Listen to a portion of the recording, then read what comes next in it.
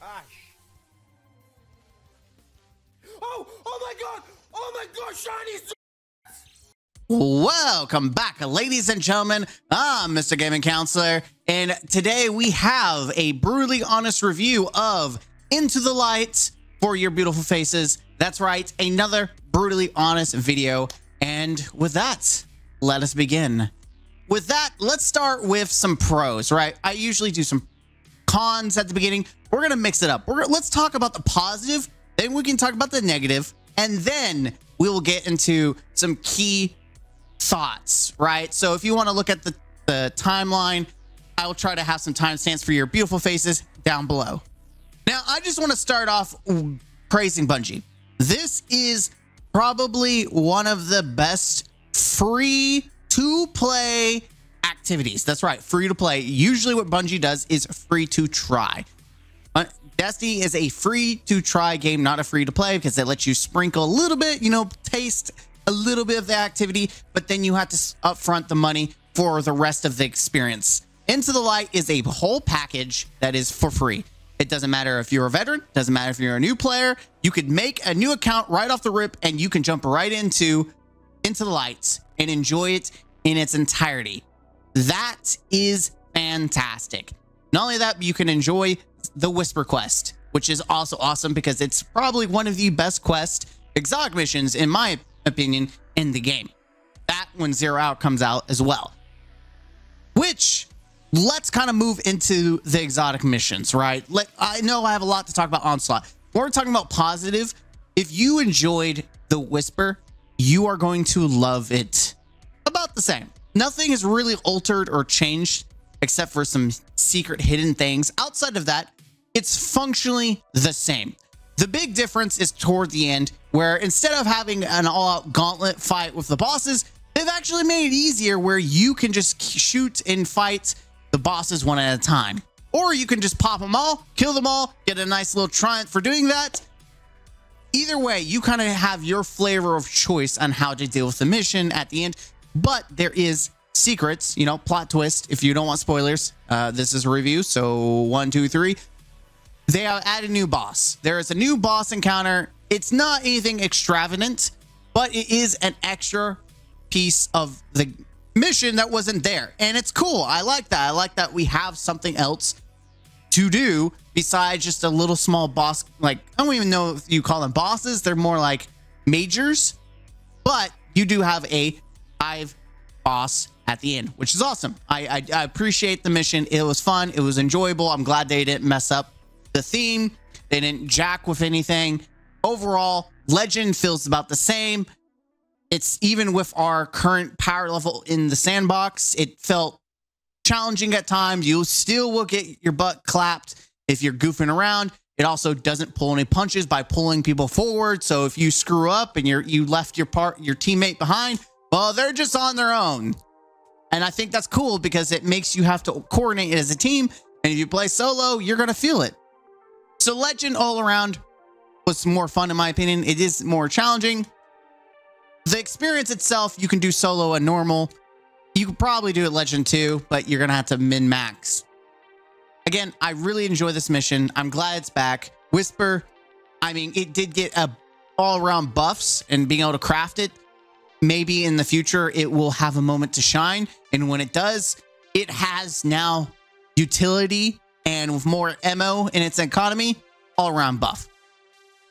What about Zero Hour? It's not out, Mr. Gaming Counselor. How can you ever talk about Zero Hour? It's not out yet. Yes, it's not out yet. You are precise. However, Whisper fundamentally didn't change except for like a small tweak. I expect the same for Zero Hour. So if you enjoyed the experience of Zero Hour, it's going to be the same, except for maybe a few more enemies or different ads like the Briggs.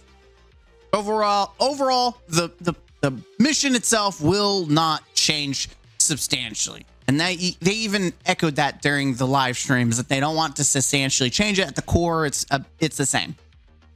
We're probably going to get a different boss at the end just like whisper. Fundamentally it's going to be the same. That's great. All around w's. I'm okay with it onslaught Onslaught is probably, like I said, one of the best free to play activities, but it is also probably one of the best activities I enjoy. Like, I think out of this entire year of paid seasonal content, I think I enjoyed Onslaught the most. You can play normal, and for about 30 to 40 levels, like, you can just screw off, right? You can just do whatever you want, use whatever ability you want. And fundamentally, you can just have fun. There's really no stress at in normal, to, except for toward the later ends, it gets a little more difficult. You're gonna have to put some thought into it. I think that the biggest challenge is the tormentor, but if you play smart and you play the objective, you'll be fine. In fact, I would like to say that outside, and here's a little bit of a, a con, but it kind of it's all right. Most of this is positive. A small con ahead of time is the trip mines kind of suck. They they kind of do. They kind of suck. Now they don't suck nearly as much in normal, but in legend they're almost essentially useless. But everything else, the turrets, I was very surprised on my run to get 50 on legend. Essentially, we had max turrets, we had max decoys, and it, the turrets actually destroy yellow bars. Like it was crushing it in the support. And the decoys essentially can just stop tormentors in their track. Like they'll just sit there. There was literally an, uh, a moment where we had the tormentor being babysat by a decoy while we cleared the wave of ads. And then we went back to dealing with the tormentor. It was crazy, but we made it work. And that's kind of like the strategy component where you have to determine how much you're going to spend at one one side of the map. Are you going to save it? There's more thought process going in. And this is more or less towards legend than normal. Normal, you can pretty much get away with not buying anything till wave 30 and then you you essentially want to start leveling things up because it will matter because things will be tankier but overall you, there's some strategy there's some thought to it i love that you can be brainless to a certain point and then you actually have to strategize so you get to you get to play the way you want to play builds this encourages some build diversity you can't just use solar polaris lance and expect it easy. No, you actually have to think about crowd control and being able to deal big DPS. And the nice thing, and the really nice thing, is that it's not locked equipment. So in Legend, for instance, you can have a ad clear build. Then you can have a build to deal with tormentors. If you know your you a tormentor response, you can quickly hot swap to a loadout to deal with that during the boss encounter. It is so, you know, every 10, 10th wave, that completion of that set is going to be a boss fight. So you can have a specific loadout and there's a banner that you can pick up. So you can set up your DPS boss loadout, whatever it is for that boss wave, and then swap back to your ad clear build.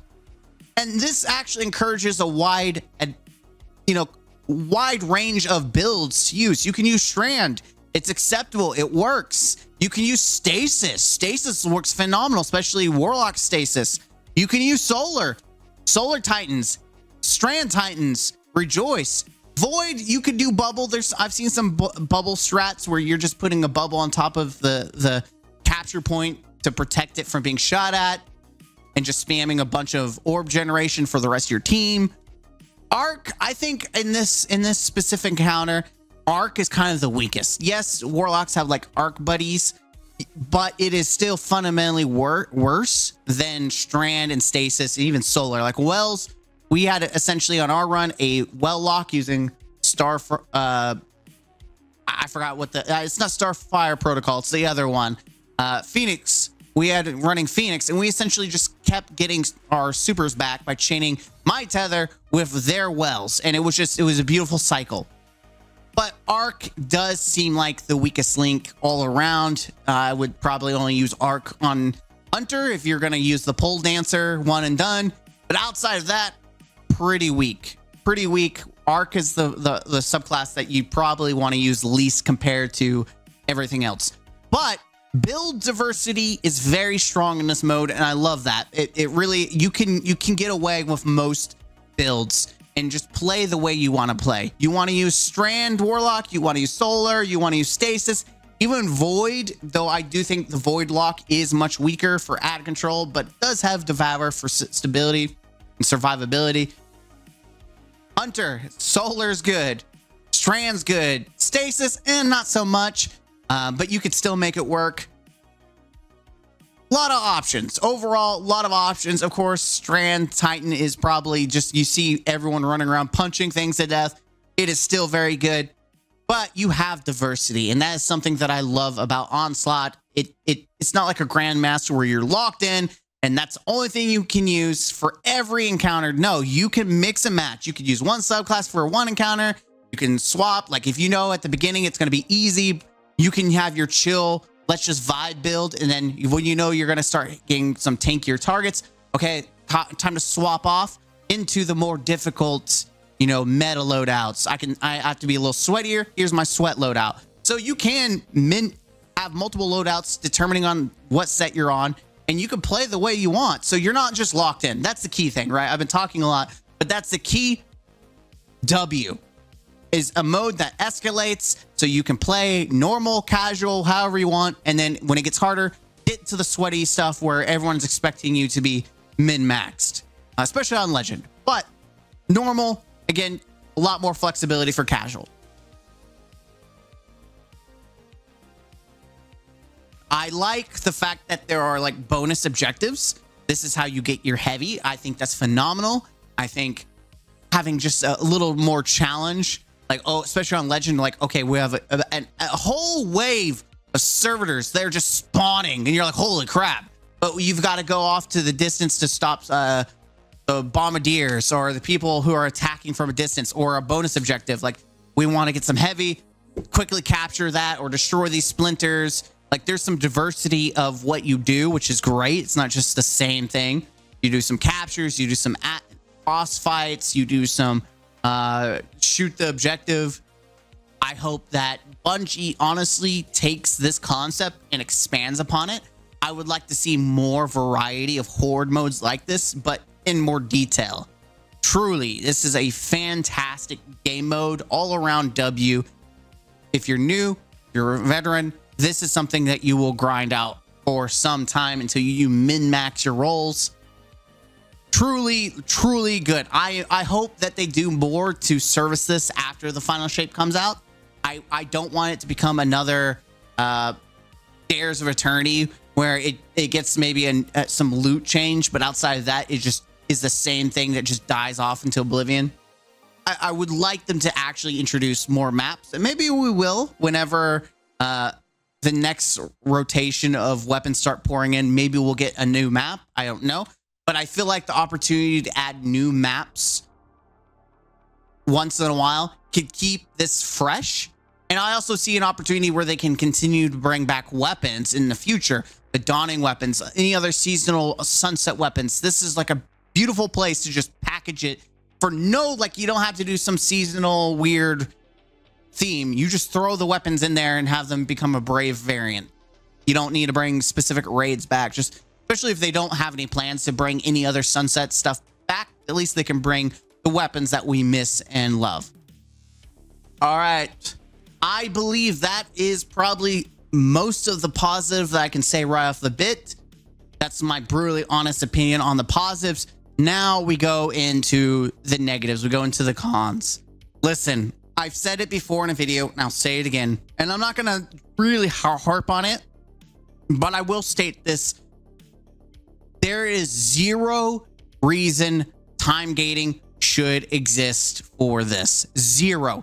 Absolutely no reason at all because the drop rate at which the shiny weapon variants come out is very low. Not only is it very low in general, the chances of you getting a shiny variant of the gun that you are actually chasing, even with attunement, is so low. I did a hour long run on Legend and got zero shinies. I think only one out of three of us got one. That is ridiculous. And I've run multiple 50 runs on normal.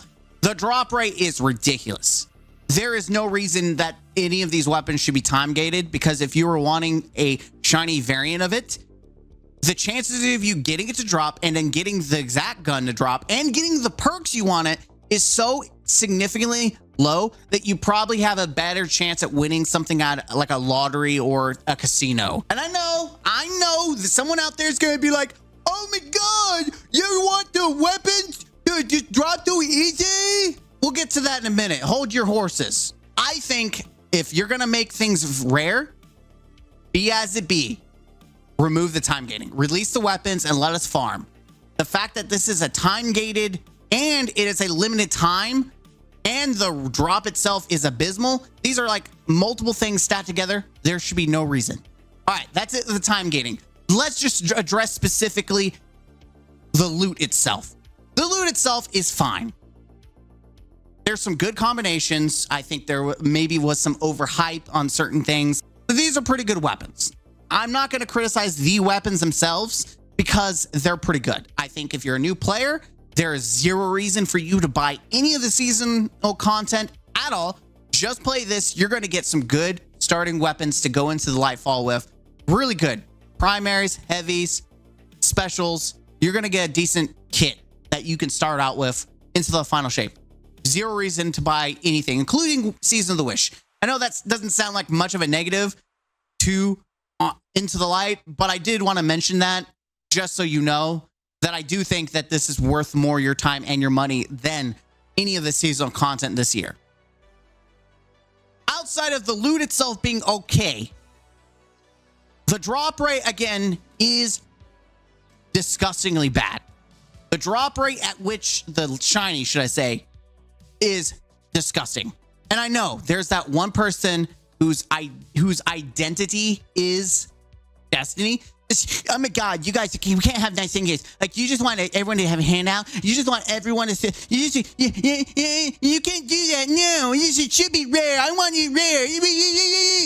Listen listen linda. I know that your your personality, your identity is tied to a video game, but there are normal people out here who have a full-time job and a life whose identity isn't a single game. Can you have things hard, rare, Yes, you can have them hard and rare, but you don't have to make them ridiculous. That's exactly what the the shinies are. They're ridiculous. I have a better chance. I almost, I'm almost guaranteed you can get someone who's a shiny hunter in Pokemon and have a competition to see who can get a shiny faster. And I'm almost certain the, the person who does the shiny Pokemon hunting will get a shiny faster than you do a gun in this game. The difference is, is that this is a limited time event and you can get shinies all you want in Pokemon. Listen, I think it's cool that it's exclusive. I think it's fantastic that we have something to aspire to, to chase, but it should not suck your soul out to get what you want. It's already a challenge to get it to drop. It's it's it's another thing that you're not even guaranteed to get it to be a shiny variant, but also to even get the specific rolls you want is even more. So you've like this this pile on a pile on a pile on. You know what my thing is? Don't you don't have to increase the drop rate of shinies themselves, but increase the rate the rate of getting actual loot. So that on its own will increase the natural ability to get shinies without actually impacting the the rarity of the shinies themselves, right? It's almost like Pokemon, right? You get like say there's you have to run into 8,000 Pokemon in order to have a chance at a shiny. It's one out of 8,000. Well, you have to see 8,000. So you go to an area and you only see 20 at a time. Well, if you see 30 at a time, you're increasing the chances of getting through that 8,000 faster, right?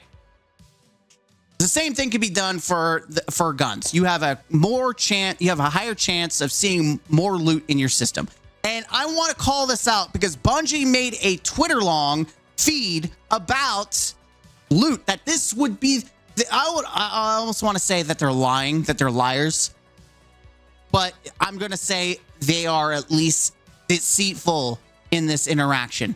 They said in their words, and I'm summarizing, I'll put the tweet up there for you, that this would be essentially more rewarding than the coil. And I'm going to tell you, no, it is not at all rewarding. What they are deceitfully leaving out is that you will get quite a bit of drops the weekly completion where you get drops just like anything else in a game that has pinnacle drops the same thing here you'll get random drops so it gives the illusion that you're getting a lot more loot But once you've cleared that out and you're just farming, you get literally on normal five weapons and then the bonus chest at the end, which is six for an hour. Then you do legend. You get 10 guns and a bonus chest. So 11 for about an hour and 10 minutes or more, depending on how long you take. That's pretty bad, guys. If you compare that to the amount of time it takes to do the coil, it's not that bad. And you get loot in between. But on Onslaught, in between encounters, you get nothing. In fact, if you die in the in between, you waste all that time. You don't get rewarded. So it feels even worse. So if you're at 46 out of 50, you just get nothing.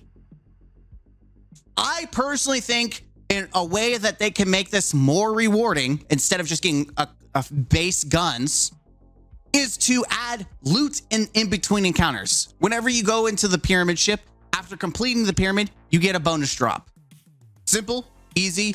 I think that adds some to it. Even, even on legend, let it get two chests as a bonus drop. Then instead, if you're getting one in between rounds, you're seeing 22 guns.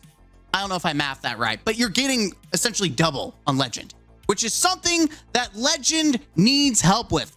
Yes, you get a pretty cool 50 legend emblem. But after that, there is zero reason to run legend. You get one extra bonus chest. One. But you go through all that hard work and challenge for nothing but one extra drop. It's the value composition, the risk, all that is not worth it. And it's it's not just my opinion. The community has literally gravitated to just farming legend the first 10 rounds. They did the first set rotation and then they reset because it is functionally and more efficient to farm legend and just do the first 10 to get double loot. It's faster and it's about the same as doing normal with the without struggling. Literally, anyone can farm the first 10 and get double chest because there's no reason to complete 50 on legend. There is zero. It's not rewarding at all. And that is a problem that people are wanting to just farm the first 10 rounds, the first set of this onslaught instead of just playing it out because the reward's not there. The, the time that you put in, the risk you put in, because you're not guaranteed to get that third extra chest if you don't make it through legend. If you get to 40, you just get another extra drop. So if you think about that logically, instead of trying to risk getting one extra chest by doing more challenging content, I could just do the easy version a bunch more times and always get two chests. In fact, most people are going to be able to blitz through the first encounter, and get those double chests much faster than people who would have gotten that bonus chest by doing all 50 encounters on, on Legend. Not only that, most people are not going to want to touch Legend anyways because the difference between Legend and normal is not that much outside of one extra chest. If you are a normie, a casual, even a veteran like me who just doesn't want to be bothered, farming the first 50 on normal is so easy. It's a cakewalk. It's a joke most and majority of the people are going to spend their time either farming the first set on legend or they're just going to sit there and casually play on the normal playlist because here's the reality most people just want to play to play and not have to think about it most people who play the game want to have fun so they don't want to think so that's why uh, i would be very interested to see the numbers to, to see if that's actually factual and observing how the community has been in the past most people would rather take the short and easy way, and Legend is not short, nor is it easy. So majority of the community who is casual, there's a large part of the community who is casual, is going to be playing normal. And that we do have some numbers. Like if you were to say that the people that are currently playing are more of the veterans, the more diehard, that was about 30k player count. But if you look on Steam charts currently at the time that I'm talking and recording, the high, the peak was 92K and currently playing is 89K. And you can see the numbers the last 30 days, there's been a 14, 14% or of 5,000 people. Like a lot of people have come back, come to play. These are new, these are returning players. These are new players. These are casual people, people who weren't the diehards who are still already playing. So you're seeing an increase in player count. Most of these people are going to be in the normal play set. My point that I'm making that's a criticism is that there is no reason to do legend. It's not rewarding. And the rotations themselves are not rewarding. Uh, they need to make legend more rewarding than the coil. The coil right now has loot in the in-between encounters. Not only that, you can't tell me that one of the harder challenges this year in legend version where it's supposed to get oh they uh, someone said it was like master or grandmaster level. I feel it's like maybe master level. I don't know about grandmaster but it does get challenging when you get up to the to the 50 tier. And you're gonna tell me doing 50 on legend only gives me a bonus chest whereas the coil gives me like five different chests plus i have the ability to focus a specific weapon granted it's pre-selected but if it's something i want to choose i can choose that rather than RNG rolling a chest. But Into the Light doesn't even have that functionality, which is kind of weird that you're going to tell me that the coil that they say is more isn't as rewarding as in onslaught supposed to be. You're going to tell me that doing legend this really impressive feat for majority of the community. Again, if you are you have your clan or you're you're always on like you're going to sneeze through this. I'm not going to I'm not going to be around the bush. You're going to sneeze through this the more difficult thing is the Tormentor, but you can literally just bait it off to fight a, a decoy and then deal with it later. Like, yes, it's thick, it's annoying, but you can, if you're smart, you can literally deal with anything in the game. And you can just take your time and sneeze on boss, boss rounds. Oh, but most of the people in the Destiny community aren't like that. They, they, they struggle and that's, that's normal. But overall, Legend's not rewarding. It's not worth the time. And that's why you're seeing most people posting about farming, farming Legend, the first encounter, because there is no value in doing a 50 run Legend outside of getting your emblem. There are three maps, and I'm a little disappointed. I will give some credit. I do like Midtown. I do like Moth-Yard. I do like Vostok because they all have different vibes. But I don't understand why moth yards, even though it's a, a longer map, why they drop everything so sporadic and across the map it's stupid. It, it it, it fundamentally makes things longer for no freaking reason. A ship comes in and it drops two dudes. Why, why are we dropping two dudes and we're having like five ships fly in and it drops two dudes? Just drop them all at once. Like, why is that hard to do? You do Midtown, they're all grouped up. So, like, why can't you do that for Moth-Yard? Why? Why does it have to be there's two dudes on this, and then across the map, there's like three dudes? Have fun. It really does suck using any like synergy or builds because if you need to get a group, like say, for instance, a tether, you have to wait for them to be on your butt cheeks. And by then, it's a bad idea to do that because you don't want people on the objective. But to take center, you know, in order to benefit from being able to use like a tether, you have to have them grouped up, which is not happening in Moth-Yards.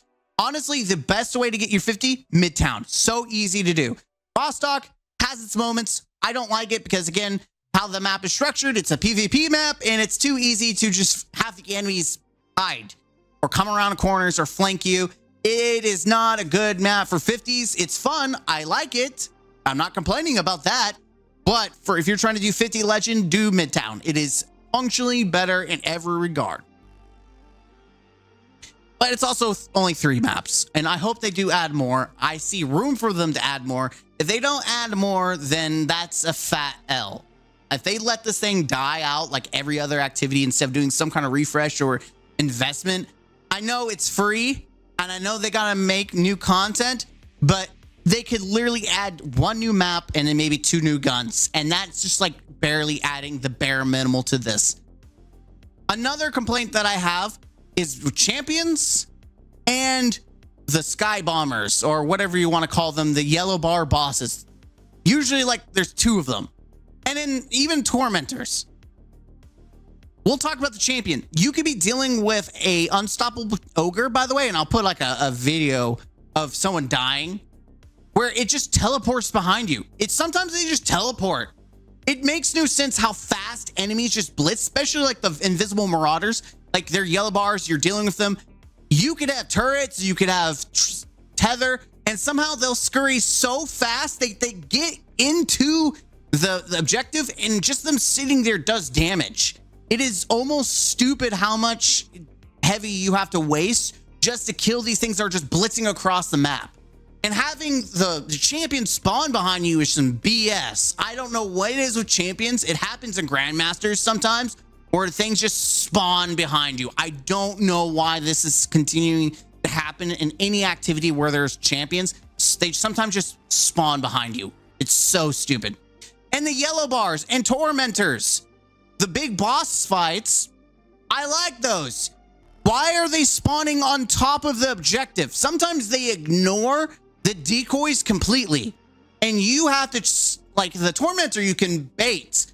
The big boys, you can't. They just slam and they slam and they slam and they slam. They kill you, they kill the EDU. They're just like giant fortresses that spawn right in front of you, and there's nothing you can do about it.